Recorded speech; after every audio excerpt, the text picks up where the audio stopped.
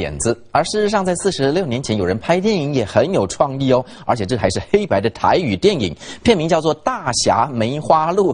您看到人都装扮成动物的样子，那么当时导演为什么要这么拍？在当时比较禁忌保守的年代，这是不是真的所谓很无厘头的演出呢？我们找到导演了，他今年已经九十一岁。动物快乐唱歌，忽然狼群来了。这时候两头公鹿又在为母鹿争风吃醋，不断开打。你看了梅花鹿？你没听错，这部片全用台语发音。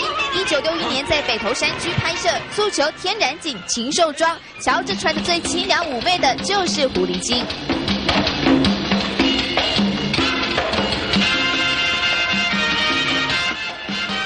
剧中还穿插了音乐舞蹈，附上歌词，方便大家跟着唱。喂喂，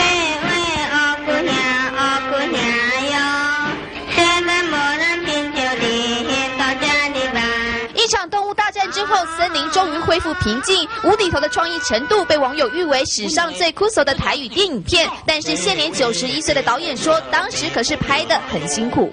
下雨不能拍，天阴不能拍。